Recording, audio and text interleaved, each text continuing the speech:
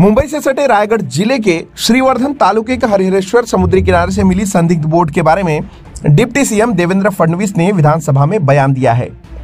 फडणवीस ने कहा कि यह बोट मस्कट से यूरोप जाते वक्त भटक कर रायगढ़ के किनारे आ गई है। उन्होंने बताया कि यह बोट एक ऑस्ट्रेलियन महिला की है। डिप्टी सीएम ने कहा कि वो इस खबर की पुष्टि नहीं कर रहे हैं, लेकिन फ़िलहाल इसके पीछे कोई टेरर एंगल नहीं दिखाई दे रहा। महाराष्ट्र विधानसभा के मानसून सत्र के दूसरे दिन इस खबर पर जानकारी देते हुए फडणवीस ने कहा कि टेरर एंगल दिखाई नहीं देने पर भी राज्य भर में त्योहारों का मौसम का ध्यान में रखते हुए पुलिस को अलर्ट पर रखा गया है। आपको बता दें, आज यानी 18 अगस्त गुरुवार को हरिहरेश्वर समुद्री किनारे पर कुछ स्थानीय मछुआर ने इस बोट को देखा और देखते ही पुलिस को सूचना दी। रायगढ़ पुलिस सूचना मिलते ही घटना स्थल पर पहुँच गई और पूरे ज़िले में हाई अलर्ट जारी कर दिया गया है। राज्य भर में नाकाबंदी शुरू कर दी गई है। बोट की तलाशी में तीन ए के सैतालीस राइफल्स कुछ कारतूस और कागजात बरामद होने के बाद दहशत फैल गई थी। दिनांक अठरा आठ दोन हजार बावीस रोजी हरिहरेश्वर श्रीवर्धन जिल्हा रायगड किनाऱ्यावर एक सोळा मीटर लांबीची बोट दुर्घटनाग्रस्त अवस्थेत स्थानिक मच्छीमारांना मिळून आली. त्यांनी पोलीस अधिकाऱ्यांना कळवल्यानंतर त्या बोटीची पूर्ण तपासणी करण्यात आली. त्या बोटीमध्ये तीन ए के रायफल आणि त्याचा दारुगोळा तसेच बोटीशी संबंधित कागदपत्रे मिळून आली.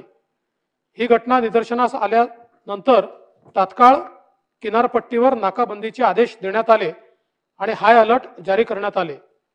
याबाबत तात्काळ भारतीय कोस्टगार्ड व इतर संबंधित यंत्रणांनाही कल्पना देण्यात आली. आत्तापर्यंत प्राप्त झालेल्या माहितीनुसार सदर बोटीचे नाव लेडी हान असून तिची मालकी ऑस्ट्रेलियन नागरिक हाना लॉन्डर्स गन या महिलेची आहे.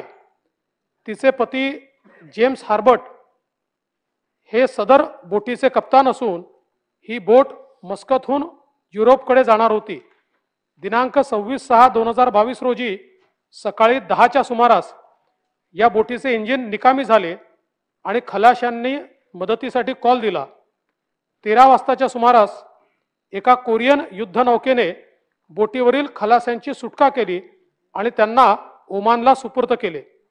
समुद्र खवळलेला असल्याने लेडी हान या बोटीचे टोईंग करता आले नाही आणि समुद्राच्या अंतर्गत प्रवाहामुळे भरकटत ही नौका हरिहरेश्वर किनाऱ्याला लागलेली आहे अशी माहिती भारतीय कोस्टगार्डकडनं प्राप्त झालेली आहे.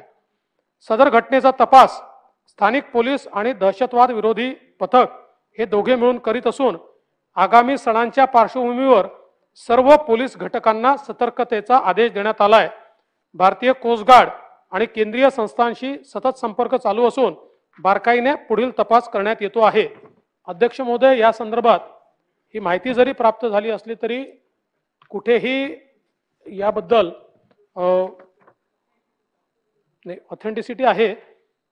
कुठेही कमी राहू नये या दृष्टीनं माहिती जरी प्राप्त झाली असली तरी सगळीकडे नाकाबंदीचे आदेश दिले आहेत.